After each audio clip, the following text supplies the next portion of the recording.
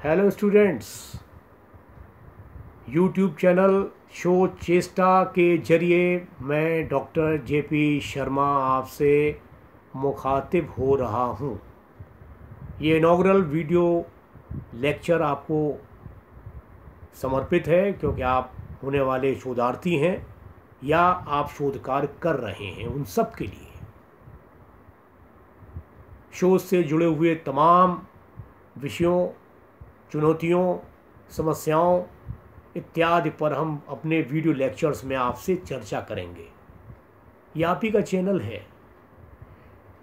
मौलिक अपने में इसलिए है कि ये शोध से संबंधित जानकारी ही आपको संप्रेषित करेगा।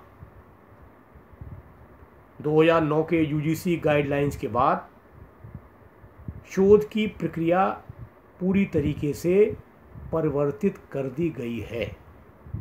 पहले क्या होता था, उसे भूल जाइए आप। उस मुगालते में मत रहिए कि पहले ऐसी पीएचडी होती थी, चार पाँच थीसिस से छठी थीसिस बन गई। अब वो संभव नहीं है। जो लोग शोध करना चाहते हैं, उनको इस कठिन परीक्षा से गुजरना पड़ेगा। यूनिवर्सिटी के प्री पीएचडी एंट्रेंस एग्ज़ाम को पास करना होगा। छः महीने का कोर्स वर्क कंप्लीट करके उसका एग्ज़ाम पास करना होगा। अच्छे सुपरवाइज़र का चयन करना होगा। अच्छे शोध विषय का चयन करना होगा। सबसे महत्वपूर्ण अंग आपकी शोध प्रक्रिया का आपके द्वारा चुना गया शोध का विषय होगा।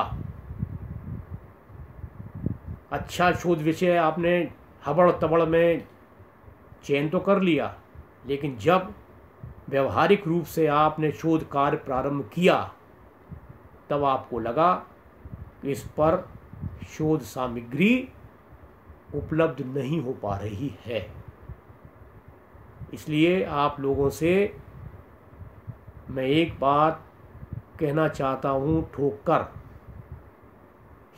शोध समस्या या शोध विषय का चयन अच्छी तरीके से जाँच पड़ताल करने के बाद शोध से जुड़ी हुई तमाम चुनौतियों को ध्यान में रखकर आपको करना चाहिए।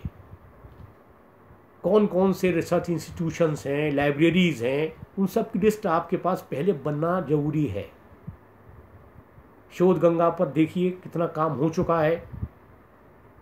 हम क्या कुछ नया कर पाएँगे?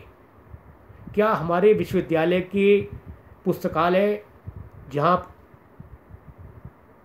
बहुत सी पुस्तकें उपलब्ध नहीं हैं, वहाँ क्या हम शोध सामग्री का संकलन कर पाएँगे? संभव है? इस सारी चीज़ों को आपको सोचना होगा।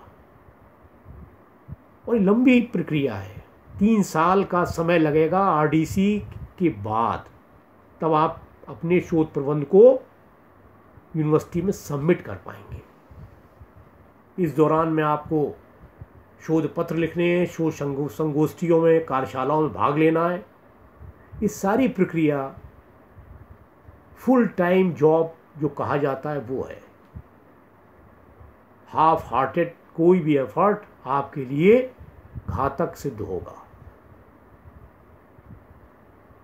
इस इनाग्रल वीडियो लेक्चर के माध्यम से मैं आपसे लगातार जुड़ता रहूँगा और बहुत सी इम्पोर्टेंट जो जानकारी है, व्यवहारिक जानकारी है, तकनीकी जानकारी है यूजीसी के नए नए नोटिफिकेशंस हैं, शोध पत्र कैसे लिखा जाए कौन कौन से केयर लिस्ट के यूजीसी के शोध जर्नल्स हैं, उनकी जानकारी कौन सी तकनीक हमें यूज़ करनी है शोध में, शोध प्रविधि क्या है, शोधकर्ता को आज के समय में कौन कौन सी चुनौतियाँ आएँगी आने वाले समय में, ये सब सारी जानकारी हम इसमें शेयर करेंगे। इनाग्रल वीडियो लेक्चर में अभी हम केवल एक सामान्य परिचय आपस में ले रहे हैं और दे रहे हैं। आने वाले समय में बहुत कुछ इंटरेस्टिंग इन्फॉर्मेशन रिसर्च से संबंधित आपको वीडियो लेक्चर्स के माध्यम से दी जाएगी।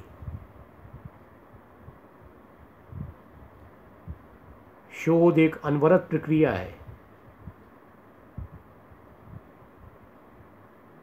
वैज्ञानिक प्रक्रिया है। वस्तुनिष्ठ शोध, मौलिक शोध हम कैसे करेंगे? यदि हम उसके लिए हम तैयार नहीं हैं, इन सब बातों पर गंभीरता के साथ मैं चर्चा करूँगा। विशेषज्ञों के वीडियो लेक्चर्स आपको अपलोड किए जाएँगे और मैं आशा करता हूँ कि शो चेष्टा यूट्यूब चैनल के माध्यम से आपको बहुत अच्छी जानकारी प्राप्त होगी। आपको लगेगा कि हमने यूट्यूब चैनल सुना, देखा और अपना समय हमने सही तरीके से इसमें लगाया। हमें बहुत सी जानकारी प्राप्त हुई है। यही हमारा उद्देश्य है कि हम आपको रिसर्च से रिलेटेड उन तमाम जानकारियों को शेयर करें, जिससे कि आप उत्कृष्ट शोध कार्य को पूरा कर सकें। इन्हीं शुभकामनाओं के साथ मैं आप सबको बहुत बहुत शुभकामनाएँ देता हूँ कि आप एक अच्छा शोध कार्य पूरा करेंगे अवश्य। और अगले वीडियो लेक्चर्स में हम बहुत सी जानकारी के साथ एक बार फिर आपके सामने उपस्थित होंगे। धन्यवाद।